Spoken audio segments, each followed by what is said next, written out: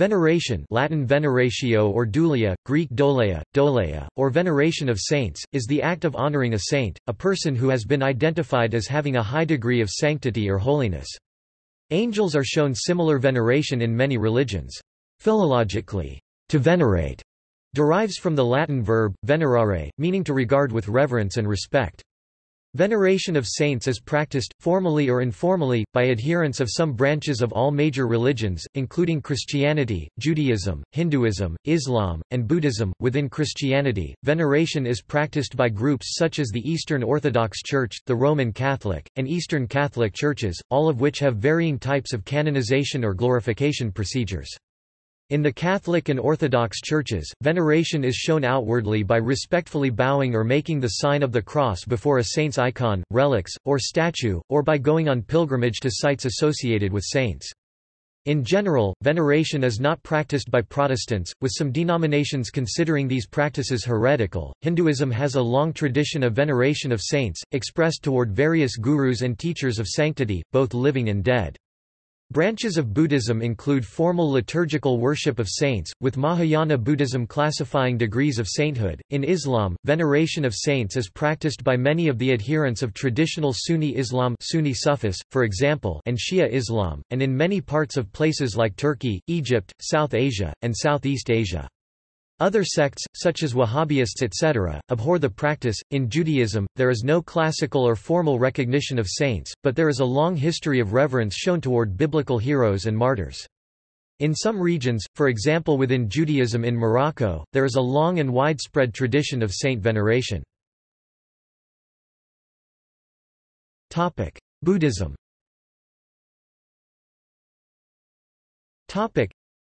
both main branches of Buddhism, Theravada and Mahayana, recognize those who have achieved a high degree of enlightenment as an arhat. Mahayana Buddhism particularly gives emphasis to the power of saints to aid ordinary people on the path to enlightenment. Those who have reached enlightenment, and have delayed their own complete enlightenment in order to help others, are called bodhisattvas. Mahayana Buddhism has formal liturgical practices for venerating saints, along with very specific levels of sainthood. Tibetan Buddhists venerate especially holy lamas, such as the Dalai Lama, as saints. Christianity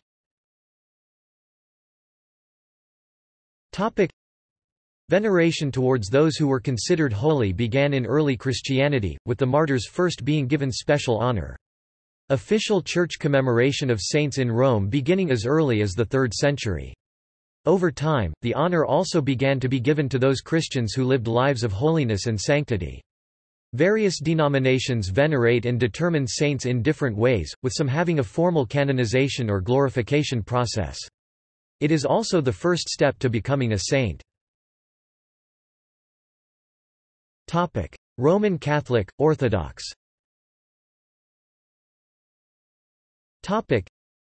in Roman Catholic and Orthodox theology, veneration is a type of honor distinct from the adoration due to God alone. According to Mark Miravalle of Franciscan University of Steubenville, the English word, worship, has been associated with both veneration and adoration. As St. Thomas Aquinas once explained, adoration, which is known as latria in classical theology, is the worship and homage that is rightly offered to God alone. It is the manifestation of submission, and acknowledgement of dependence, appropriately shown towards the excellence of an uncreated divine person and to his absolute lordship. It is the worship of the Creator that God alone deserves. Although we see in English a broader usage of the word adoration which may not refer to a form of worship exclusive to God, for example, when a husband says that he adores his wife, in general it can be maintained that adoration is the best English denotation for the worship of latria. Veneration, known as dulia in classical theology, is the honor and reverence appropriately due to the excellence of a created person. Excellence exhibited by created beings likewise deserves recognition and honor. We see a general example of veneration in events like the awarding of academic awards for excellence in school, or the awarding of Olympic medals for excellence in sports. There is nothing contrary to the proper adoration of God when we offer the appropriate honor and recognition that created persons deserve based on achievement in excellence. We must make a further clarification regarding the use of the term worship in relation to the categories of adoration and veneration. Historically, schools of theology have used the term worship as a general term which included both adoration and veneration. They would distinguish between worship of adoration and worship of veneration. The word worship in a similar way to how the liturgical term cult is traditionally used was not synonymous with adoration, but could be used to introduce either adoration or veneration. Hence Catholic sources will sometimes use the term worship not to indicate adoration, but only the worship of veneration given to Mary and the saints. Church theologians have long adopted the terms latria for the type of worship due to God alone, and dulia and proskynesis for the veneration given to angels, saints, relics and icons. Catholic and Orthodox theologies also include the term hyperdulia for the type of veneration specifically paid to Mary, Mother of Jesus, in Catholic and Orthodox traditions. This distinction is spelled out in the dogmatic conclusions of the Seventh Ecumenical Council 787, which also decreed that iconoclasm, i.e. forbidding icons and their veneration, a dogma central to the iconoclastic controversy, is a heresy that amounts to a denial of the incarnation of Jesus. Now, the Roman Catholic tradition has a well-established philosophy for the veneration of the Virgin Mary via the field of Mariology with pontifical schools such as the Marianum specifically devoted to this task. Protestant in Protestant churches, veneration is sometimes considered to amount to the heresy of idolatry, and the related practice of canonization amounts to the heresy of apotheosis. Protestant theology usually denies that any real distinction between veneration and worship can be made, and claims that the practice of veneration distracts the Christian soul from its true object, the worship of God. In his Institutes of the Christian Religion, John Calvin writes that T he distinction of what is called dulia and latria was invented for the very purpose of permitting divine honors to be paid to angels and dead men with apparent impunity.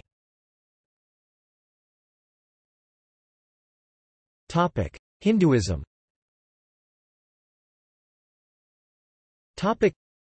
Hinduism has a long-standing and living tradition of reverence towards saints, with the line often blurring between humanity and divinity with some Hindu deities. The bhakti movements helped to popularize the veneration of saints and gurus as models showing the way to liberation. Islam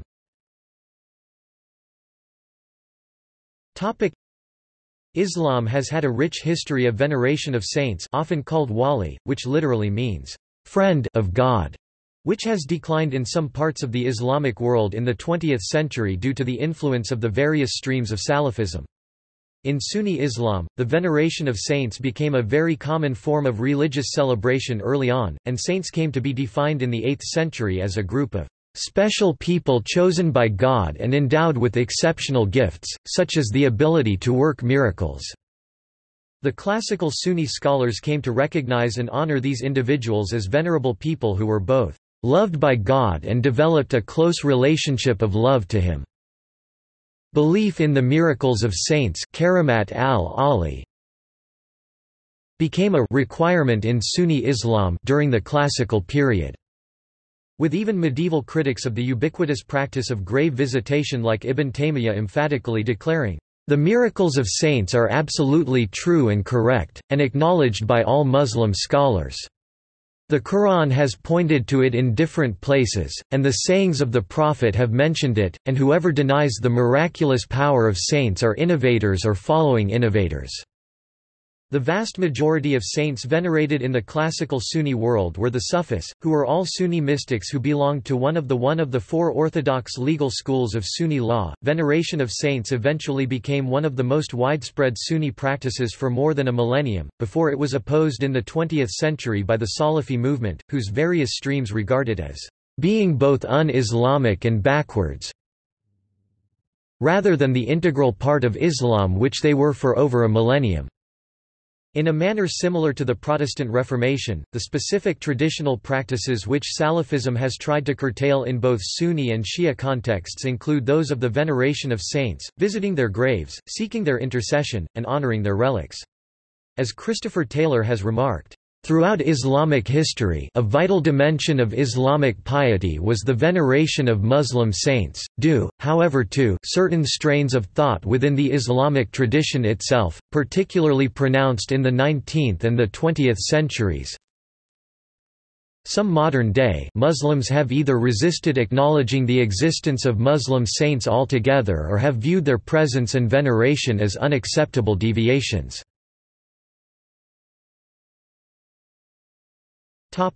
Judaism Topic: while Orthodox and organized Judaism do not countenance the veneration of saints per se, veneration and pilgrimage to burial sites of holy Jewish leaders is an ancient part of the tradition. Today it is common for some Jews to visit the graves of many righteous Jewish leaders.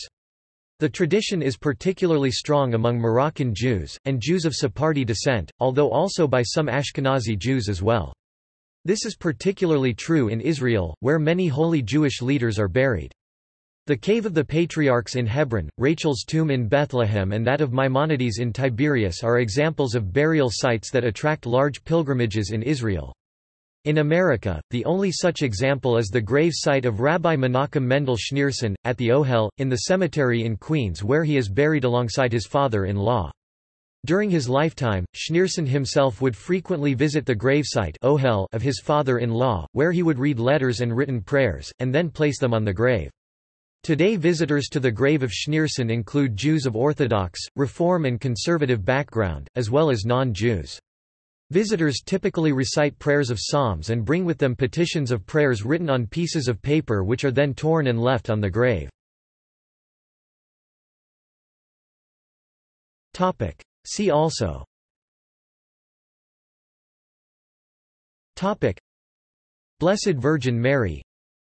Genuflection. Hagiography. Iconography. Intercession of saints. Muhammad in Islam. Patron saint. Zodiac.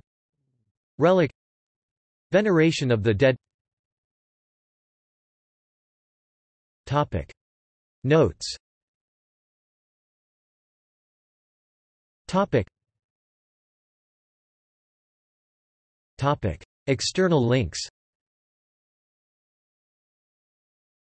Topic.